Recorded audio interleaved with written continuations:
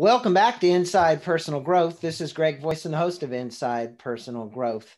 And Barry is joining me. Are you in Palm Beach, Florida today, Barry? I am, although All it's right. a bit rainy, but I'm here. All right. Well, you made it there. He's normally in New Jersey and New York. And Barry Habib is our guest uh, this morning.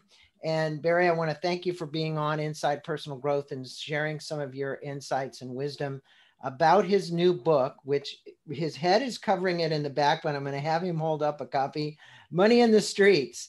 Um, this is a great book. He has lots of accolades from some very interesting people, including Tony Robbins um, and Randi Zuckerberg. But Barry, I'm going to let our listeners know a tad bit about you um, before we get into the questions about the book. Barry is an American entrepreneur and a frequent media resources for his mortgage and housing expertise. He's the CEO of MBS Highway, the industry's most highly regarded and recognized tool for transforming sales people into advisors. Barry is a two time Crystal Ball Award winner for 2018 and 2020 for the most uh, accurate real estate forecasts out of 150 of the top economists in the US. Barry was also named 2019 Mortgage Professional of the Year by National Mortgage Professional Magazine and was 2019 finalist for the prestigious Ernst & Young Entrepreneur of the Year. He is the lead producer and managing partner. You can see his sign in the corner of his desk over there for Rock of Ages and 27th longest running show in Broadway history. He's also produced Criss Angel's Mind Freak at Planet Hollywood in Vegas. Well, Barry, this book had a lot of appeal to me, and I'm sure it's going to have a lot of appeal to the listeners as well. And, you know, I love the stories that you weaved into the book, and the stories tell a lot about you, but they also tell a lot about what you want to share with the listeners. And, you know, right in the introduction, you tell a great story about the trip to Santa Fe, New Mexico from New Jersey to do a speaking event, and you're complaining the whole time about how it, long it takes to get from New Jersey to Santa Fe and book the flights and all the connecting flights and all that. And you were doing this for free, by the way. Um, so, but the story also exemplifies the opportunities that are really everywhere, which is really what this book is talking about. There's money in the streets. You know, you can find opportunity anywhere if you're willing to go that extra mile. And I think that's what it's about. Can you tell this great little story that sets the stage really kind of for the rest of the book? Yeah, Greg. Well, first of all, thank you so much for having me. And I'm so glad that you and I have got a chance to become friends and connect on here. And your story is really interesting as well. So thank you for sharing it with me. And, you know, I feel like we're kind of kindred spirits here. And, and Greg, uh, can I tell you, not only was I so humbled by putting this book out, and I got the book in my hands for the first time last week, right? And I have to tell you, I don't mind saying it was kind of emotional for me to kind of finally see that together. But then over the weekend, the publisher sends me this link on Amazon and it hit number one on the bestseller list on the new releases. So I was like, oh my goodness. So uh, I am so grateful. And that's a lot about what this book is about. It's about gratitude and understanding how fortunate we are and having a positive mindset and an optimistic mindset. And so many years ago, as a, as a professional speaker, and I've been doing that for more years than I want to admit, it's a little less than 30 years that I've been a professional speaker, but you know, I have a good heart and I want to help people out. And someone asked me for a favor to do this. They were launching a business. They wanted me to be the headline speaker there. It was in Santa Fe, New Mexico. And man, it's a pain in the butt to get there, Greg. So I, I wasn't feeling well. Now, I didn't realize it at the time, but I had diverticulitis and I was having an attack and I didn't understand why I was in such pain but I really like pulled myself to do it because I made the commitment. She was counting on me and all these all these people that were going to be at the event. So I really sucked it up for the long trip there. And you know, I guess God rewarded me with this because after doing the talk, yeah, I met so many nice people. It was a great crowd. And boy, I tell you what, Greg, when I got to the hotel, the hotel was kind of dingy, man. So the cost of the hotel room. $25 for the room and you asked the guy to charge you more because I, I said all right. I said wait a second how much is it 25 I said just, just charge me a little more so I feel good about this experience you know? And he says no it's 25 bucks and guess what? He says here's a dollar back coupon to get a beer for free. I was like oh no. Well uh, you know what? It was a good thing. I just kind of went for it because, like you said, and like the book talks about, opportunities are everywhere.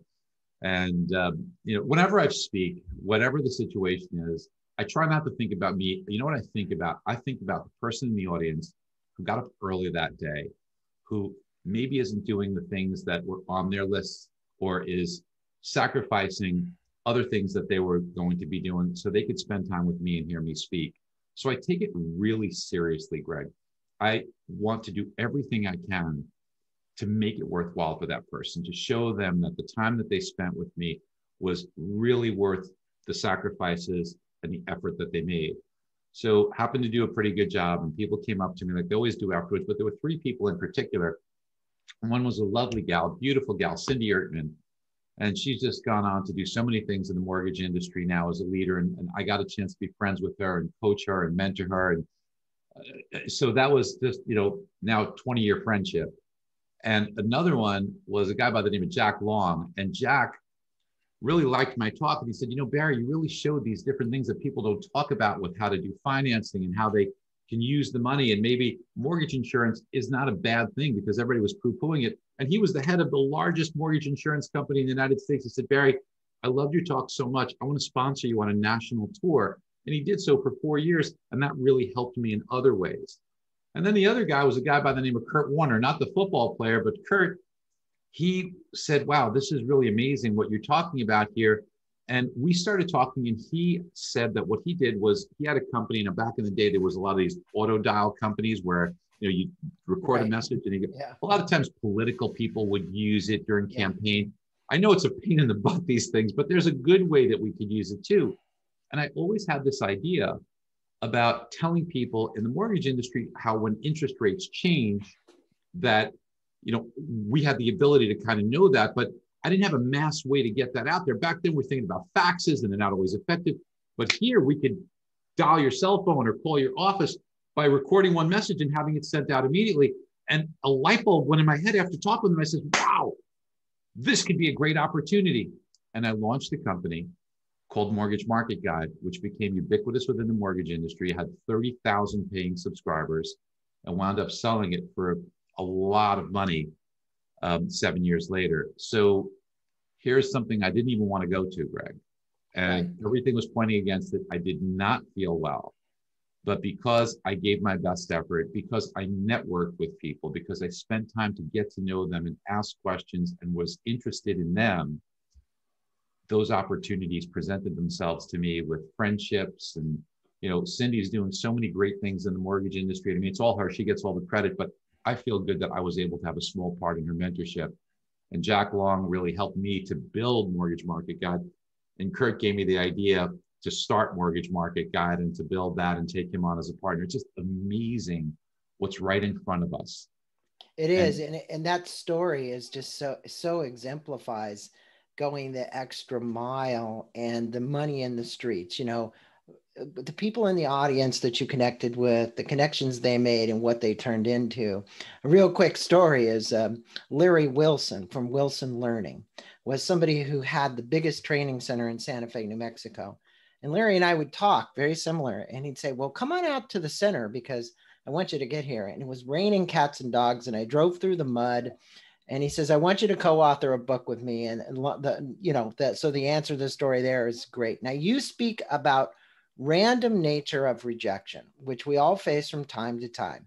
Uh, you state that you were not born in the what you call the Silver Spoon Club, and, and neither was I. I mean, it sounds like we had very similar families. Can you tell our listeners about your family life and why being born into your family really was a blessing? Um, I well, think we need to look for those blessings. Well, and that'll tie into the title of the book too. And first, you know, Greg, um, I think you and I, when we first talked, and one of the reasons why I felt like I had such a great connection with you is because we both feel that one of the important things to do is, yeah, we all have to have goals, right? We all want to make sure that we set that. And it's very important to set goals, keep raising the bar, and you, you have to have a des- def- yeah, a destination. We talk about in the book. You know, you don't you don't put in a destination into your GPS based upon where there's the least traffic you need to have a destination. And if you go through traffic, Well, you have to figure out best ways to navigate that. In life, it's the same. You need to have goals, you need to have a destination. And if there's traffic, if there's obstacles, you have to get around them. But the name of the book, Money in the Streets, comes from the fact that when so many immigrants came here, my parents were immigrants and they came from Europe. My ancestry is from Spain. And while my family is not Turkish, they lived in Turkey for many generations. It was very difficult. And they came here at a time where the Turkish government took everything they had. My parents were both intelligent, but my mom never went to school. So she didn't read or write. They were older. And they came here and the government took everything they had. They were really poor. My dad had to humble himself from being an international journalist in Turkey to working at a hot dog stand. And because my mom had to make, make money to help support the household, she worked in a sweatshop where they make dresses. My oldest brother, Norm, he did what he could as a young teenager, but whatever money he made went to the household to contribute to bills. Just a very different lifestyle. So now they discovered guess what? Mom's pregnant with me. So good for my old man for still being kind of active at his age, right? So good for him. But um, he was 57, mom was 40. They were broke didn't speak the language. And now here's a baby on the way. Now, what's interesting about the way I was conceived is I was conceived in 1959. The reason why that's important is because birth control became available in 1960. So I kind of just slid in there. And then, Greg, to top it off, abortion was not legal back then. It was pre Roe v. Wade. So I kind of just slid in there and listen, maybe that's the reason why I want to try and make the most of this is because this for me is kind of like bonus time, right? So um, we talk about the word random in the first chapter because random is the way we all come into this world. It's the most random event we will ever have because we don't pick it. We don't pick the year. We don't pick the family. We don't pick the circumstances. And with me, my parents were very, very poor. So their challenges became instantly my challenges. Now, my mom and dad were distraught.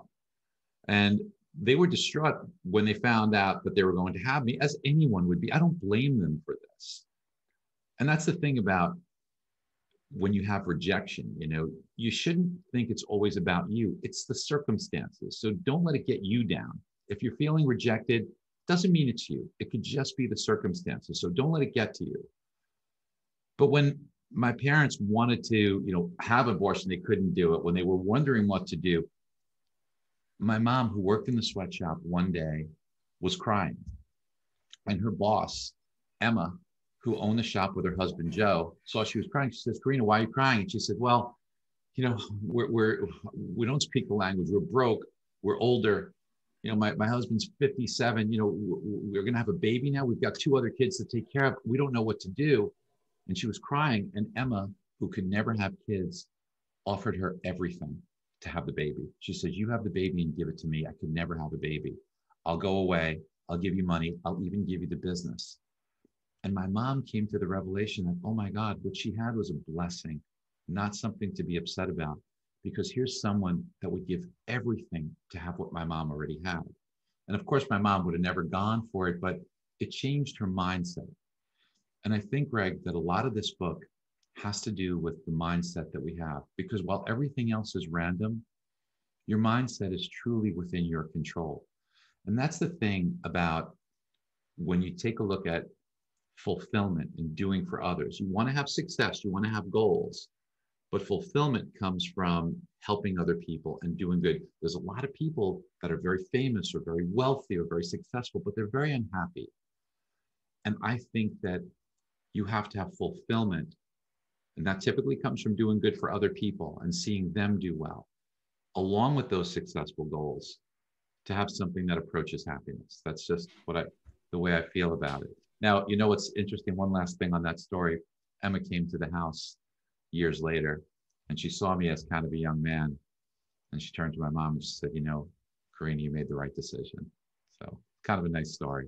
It is. It's a very nice story. And, you know, I, I think that you know, as you say, randomness happens all the time. Every day we're having something random that comes in, and uh, we don't have control over it.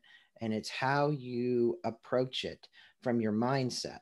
Um, you can make it positive, or you can choose to, you know, uh, bump along the negative path. And you don't do that. And that's what I like about you. And that's why my show is called Inside Personal Growth.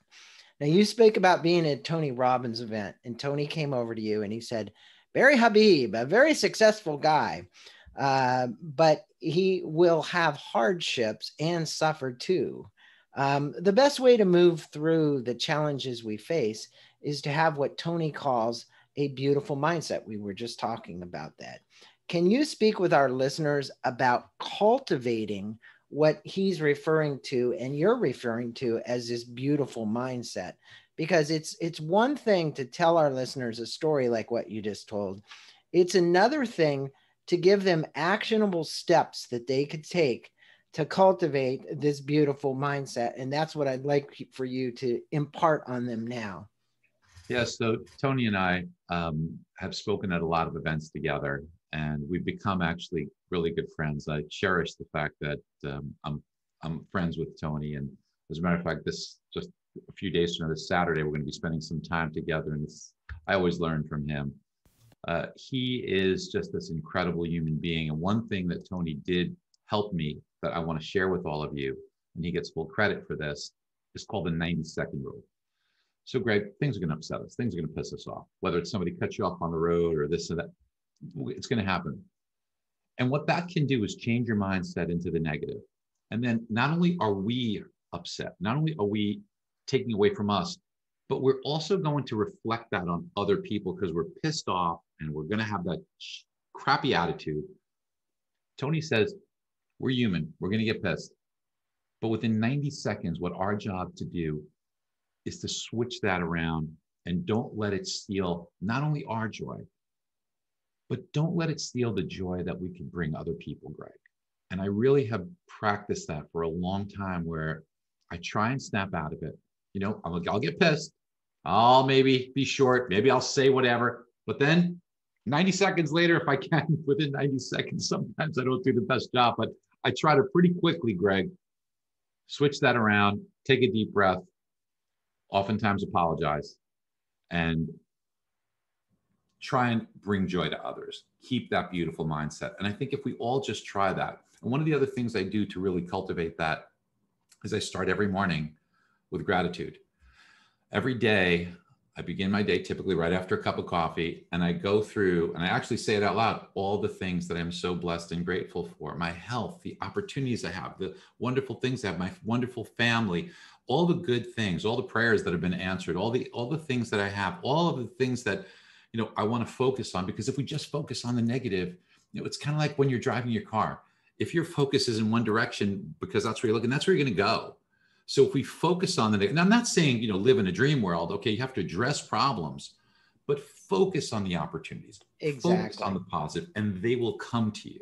Yeah. It's and you know, it's an easy thing to do, you know, when you swing your legs outside of the bed or even before they get outside of the bed just repeat the affirmation of the things you're grateful for before you take that first walk to the bathroom. You know, that's my little routine. And I I go back a long way with Tony as well. And I'm going to pick something up real quick and just show you here. you see this? Oh, there you go.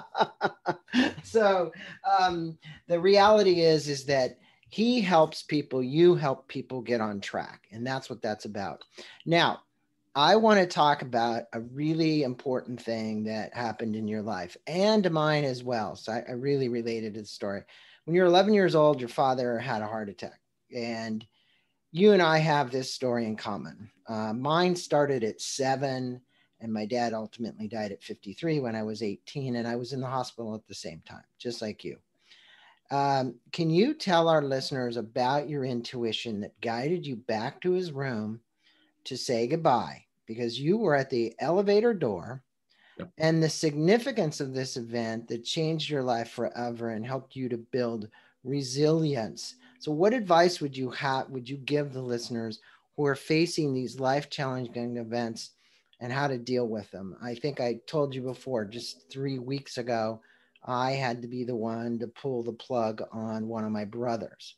So I lost a brother. And I look at finitude and you see finitude every one of us that's one thing we all have in common is finitude and no matter how hard we work, but you have to put this in perspective spiritually. And I think your resilience and your spirituality is a really important part. And I think uh, you have a lesson for people to learn from this story. So I, I, am very spiritual, you know, not so much religious, but very spiritual. You know, I begin every day with prayer. I believe it works. I truly do. And I, I think that, you know, going back to when I was a little boy, I had a very uncer- un- unfortunate circumstance um, at age 11, my, my dad passed away. And there's a lot of folks like you, Greg, who have had these unfortunate circumstances. So my dad had a heart attack. I was too young to even know what, what a heart attack really meant. But I remember as a family, we went to go visit him in the hospital and he seemed okay. And, you know, maybe a heart attack wasn't that bad. I mean, it seemed okay. But I don't know, just something was just in the back of my mind. And as my family left the room and we all went to the elevator, and as we hit the button for the elevator, I just couldn't take the next step. I said, I'll be right back. This is just an 11 year old kid, completely on my own. I didn't even ask permission. I ran as fast as I could to my dad's room. And I just saw him there, lying there. And something said, You have to say goodbye one more time.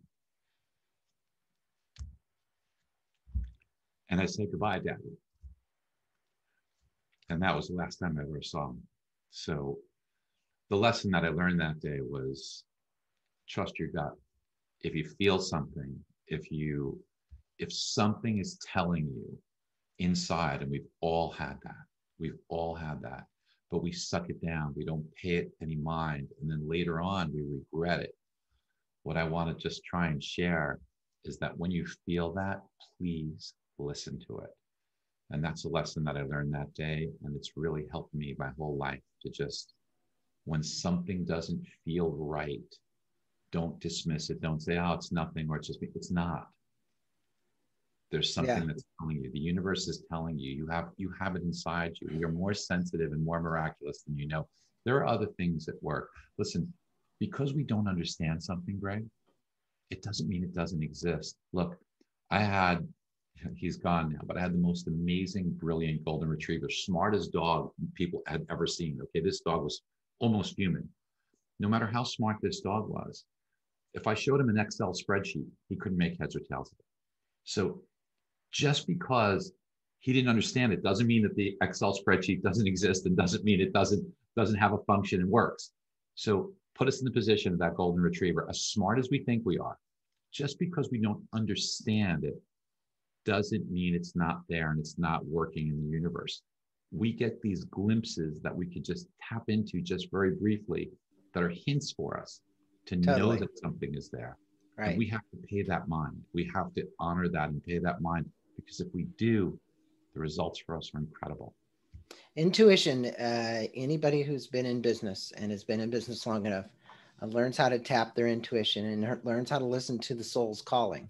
And I think the soul is something that a lot of people, unfortunately, have a tendency to kind of neglect. Um, they they don't believe in it, but truly, some of the biggest decisions that Steve Jobs made and Warren Buffett and uh, all of the greats that have been out there, um, Bill Gates, they'll talk to you about intuition, and I think you need to listen to it. So throughout your early career, you sold everything from calculators to stereo equipment. Um, and you know, it's funny. I was reading your book, and I'm like, it's like me. I was a Fuller Brush salesman as a kid in Boy Scouts. I sold the most Christmas cards. I sold the most Fuller Brush. I was a door-to-door peddler guy of all kinds of stuff. Right. I was in the insurance business. Everything, you name it. But what is it about having a career in sales that you knew was going to set you free? Because you know you saw something different that some people not everybody sees this in sales. I did you did um, but it did set you free. So there's two really important lessons that i learned early on in sales. One is sales is very fair because i loved sports. I lived for sports. My dream was to be an athlete. I wanted to and i was actually pretty good. I wasn't great. I was pretty good. And I was good enough to make the high school teams. I was good enough to be competitive. But as I got to the collegiate level, it seemed like other people got better than I did and I wasn't able to make it. And it wasn't because of lack of trying. First to practice, last to leave, practiced at home, studied, just everything. Just wasn't good enough. God did not have that in the plan for me. It just wasn't there for me. I didn't have the God given talent. So athletics yes, it has to do with a lot of effort, but it's got to be with God given skill. Sales, on the other hand, is very fair. Sales is something that depends on one thing and one thing only. And that's this right here heart. How much do you want it? How much are you willing to sacrifice? The more you put in, the more you get out. The more effort, the more the result. You don't have to be faster. You don't have to jump higher. You don't have to bench press 300 pounds. All you need is one thing, and that's heart and desire. And if you're willing to do that, you can be extraordinarily successful in anything you want to do in life and especially sales. Now, one other thing I learned from sales.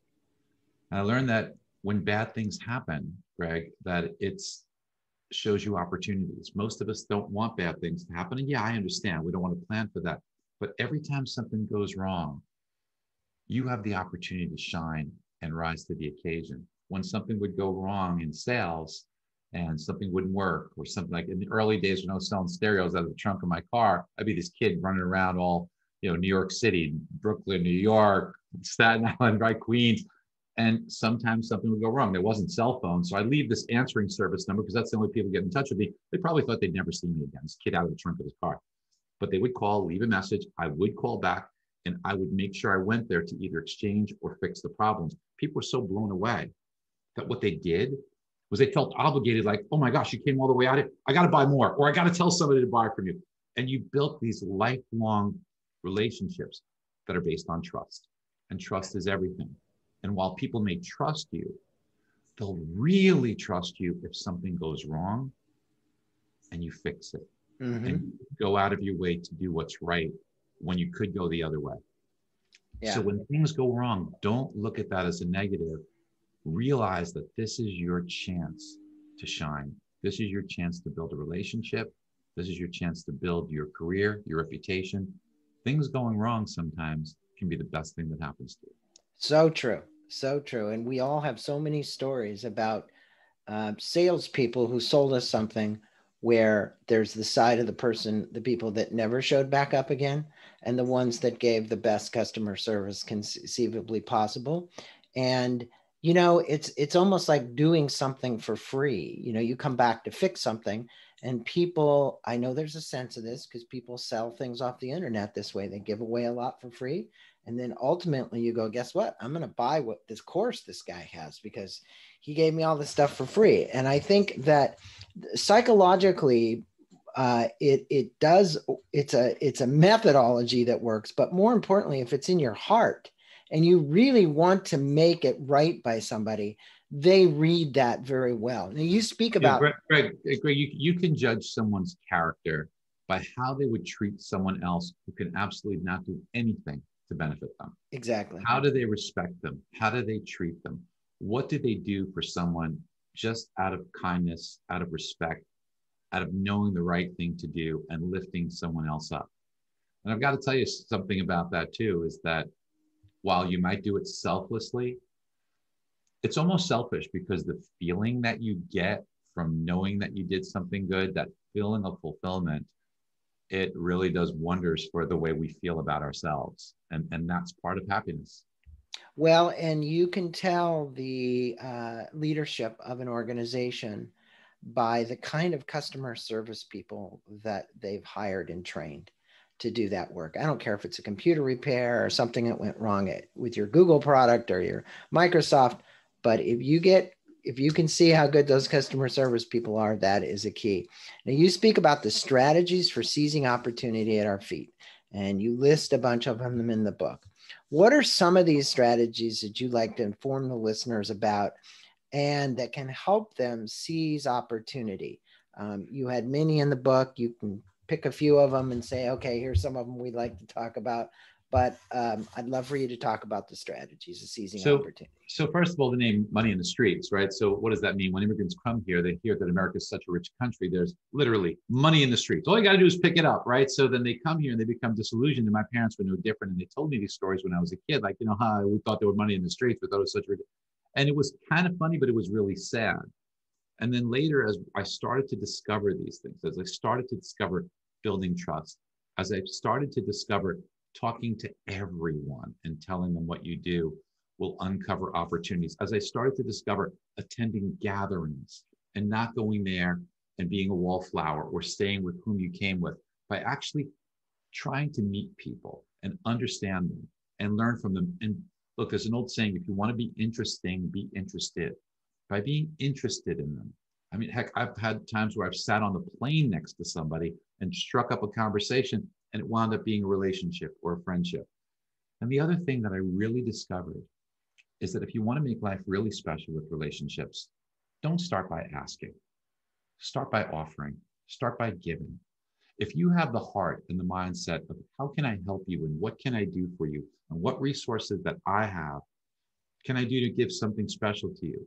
Not everyone, and you have to be okay with this, but many, many times they will want to reciprocate.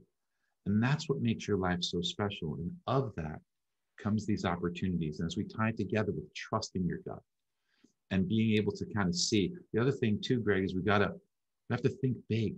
You know, we have to think big. And somebody who taught me this was a guy by the name of Jack Grummett, who really opened up my eyes to thinking big. And, you know, the analogy that I like to use is now I do like I do like nice cars, fast cars. I like to drive on the track, and I like to make sure that I do so correctly. So I've had many, many, many lessons. And one of the best lessons a driving instructor gave me was simple, but critically important for all of us. And he said, most people, when they drive, if you even catch yourself, most of us look at the car in front of us as we're driving. That's the natural thing to do.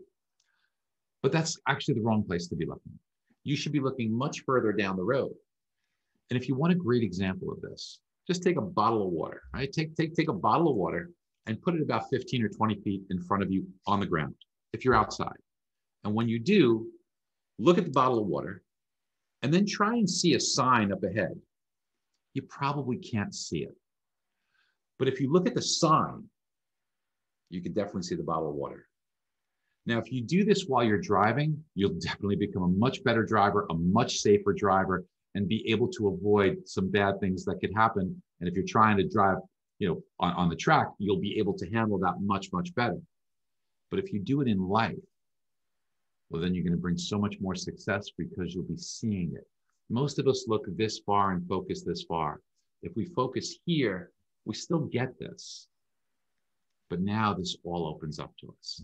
and if you really, and if you really want to get good, you put the bottle of water around the corner and you see the bottle of water around the corner. Because the reality is is if you can start to see around corners you can start to see what's coming right? And seeing around corners is really about putting all the dots together and really looking at opportunities. And you're a guy i know that sees around corners because people are kind of forecasting the future are the ones that are going to actually make that future happen and it does take a little bit extra work. Now, in your chapter on mapping dreams, you state you don't just set goals, you know, figure out how to achieve them. You speak about reverse engineering everything.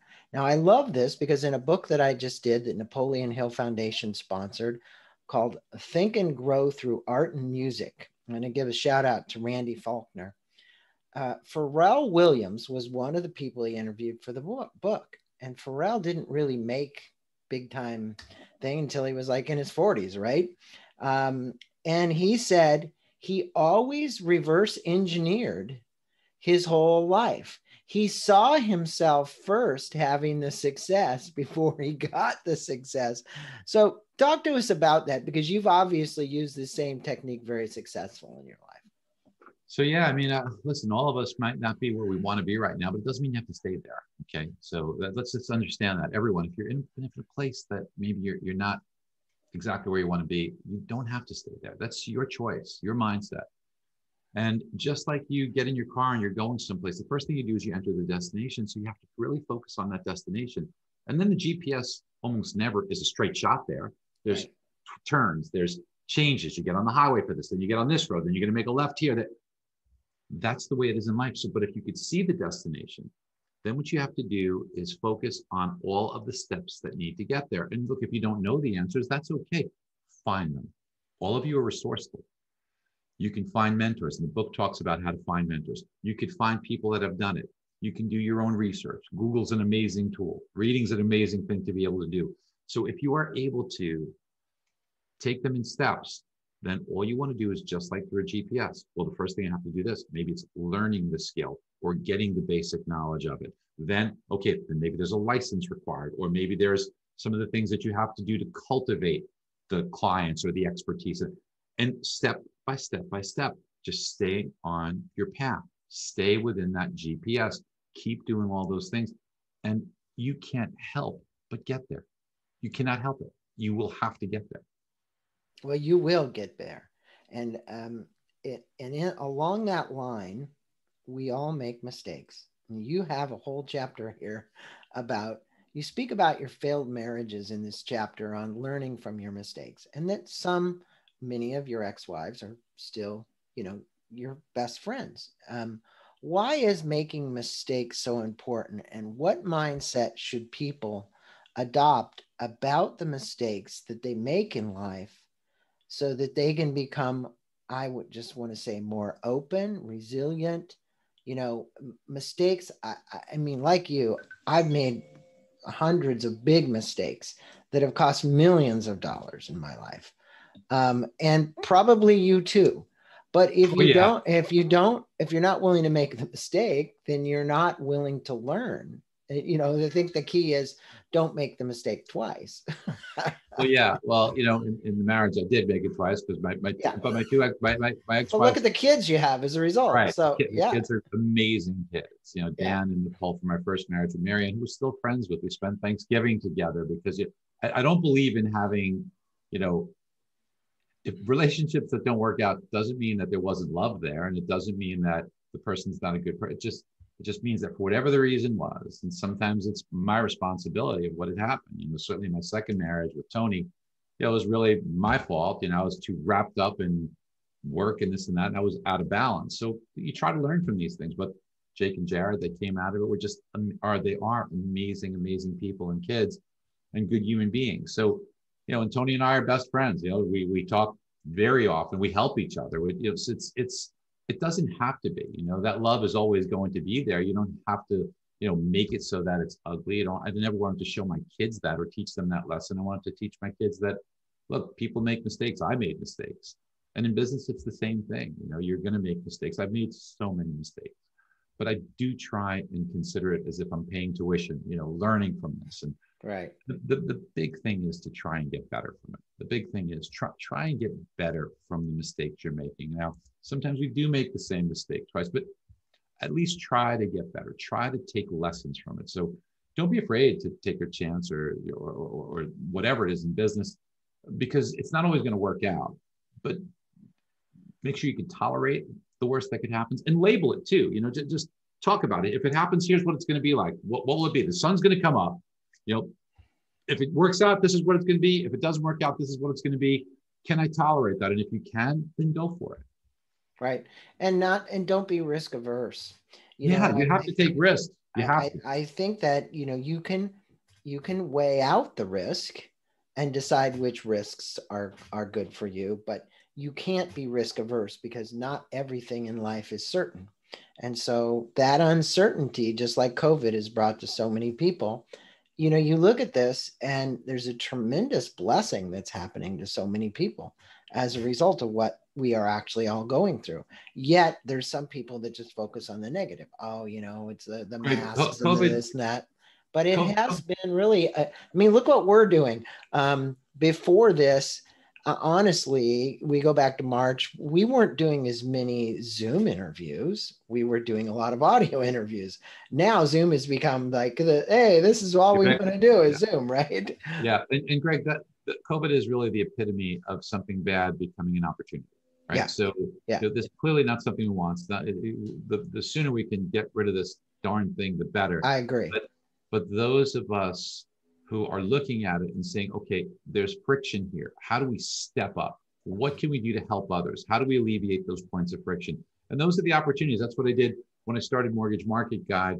In the mortgage business, people were getting hurt because rates were moving intraday and clients were getting upset because their rates were going up. Mortgage professionals were lost so I created something to alleviate that by creating a system that would alert them. With Rock of Ages, I would watch and I would just observe. And people would come to my show and I would see them get there. It's in New York City. So they would get there a little bit late.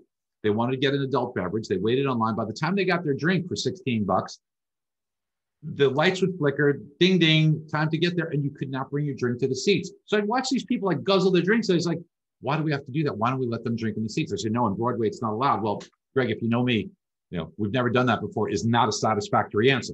So I fought and fought and fought, and I became the first show in the history of Broadway to allow drinking in the seats so people have better experience. Now they all do it.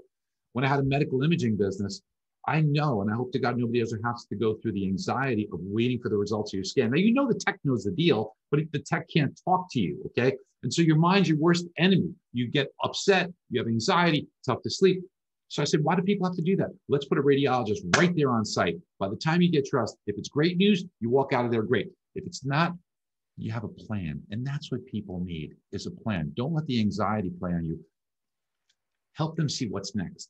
Help them make progress. And progress is really a, a word that's associated with happiness. Look, maybe you want to lose 20 pounds, but if you lose seven, you're happier. Okay. You're not at your goal, but you're happier.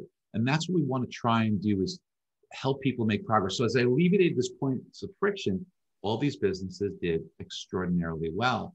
And you can do this in your life. When you see a point of friction, think about how can I alleviate this and then take it and think big. Such good advice. It's great advice. Uh, Money in the Streets is a great book. Now, let's wrap up our interview with this question. If you were to leave the listeners with three action steps um, that they could take right now to change their lives and to seize opportunity, so an action step that they could seize opportunity with, how would you, what would you share with them to find money in the streets? So we talked a little bit about trusting your gut. I think that's so important. We also talked about that the fact that not only staying grounded, but having gratitude. So these are very important first steps, I, I would say, to, to really being able to discover opportunity.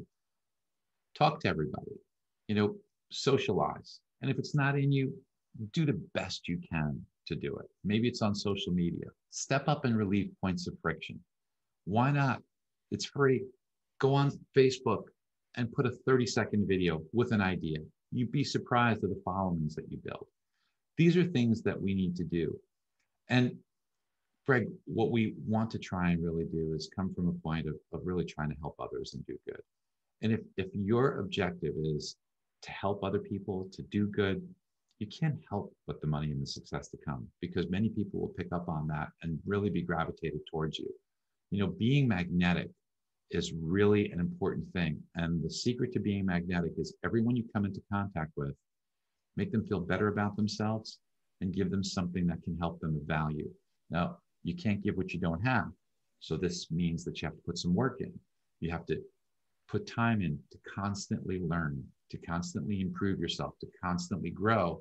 And when you do learn these things, don't keep it a secret. Share them with others. The best way to learn is by teaching. It really is. When we do these things, we become more magnetic. When we're more magnetic, we build a following. When we have a following and a base, then people are going to listen to us. And whether you're selling something, advising people, coaching people, you'll be happier because, yeah, you'll be making more money and you'll be in a position where you'll be helping others that gives you fulfillment. I do want to say one last thing, and that is get in touch with your why. Many of us leave the house. Right, your, your purpose. Greg, your purpose. When most people yeah. leave in the morning, it's they're busy, they're rushing, they're late, they're either yelling at their kids or on their cell phone or they put the radio on, and that's okay. That's normal. But but just take a minute here. Tomorrow morning, put a note so you don't forget. What? Why am I doing this? And if it's money, don't yeah. be ashamed. Money is a really great thing to do it for. Trust me, as someone who was extraordinarily poor, who now has had a little bit of success and can say, "Wow, things are a lot better." when you don't have to worry about money as much. And you could do a lot of good to help others. Maybe it's competition. Compete with yourself. Be the best version of yourself because being the best version of yourself gives you confidence, and confidence will draw people to you, not cockiness. But if you're confident because you know today, right now, your interactions with others are the best version of you. The work that you're doing is the best version, not 10 years ago, not today. What you're doing right now is the best version of yourself that gives you confidence. And then Maybe it's your significant other. Think about that. How powerful would it be to say, well, I want to make a better life for him or her? I want them to be proud of me. Maybe it's your parents that you want to honor. because of all the sacrifices that they made to say, wow, you know what? They gave up all this for me. I want to do the best I can today to honor that. Or maybe it's your kids that you go through a brick wall through.